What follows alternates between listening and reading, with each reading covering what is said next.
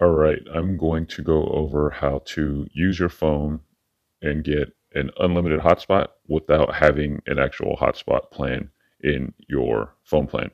So the first thing you need to do is go into the Google Play Store and download an app called Easy Tether Pro.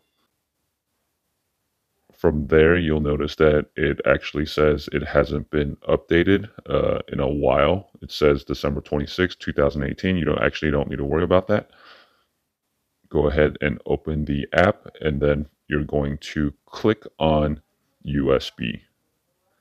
Notice on the upper left, the Easy Tether icon is now visible and you're going to connect your phone to your laptop. From your laptop, you're going to go to mobilestream.com and then download Easy Tether for Android you'll notice here it's asking you to download the app either in the Google Play Store or Amazon. So go ahead and get it there.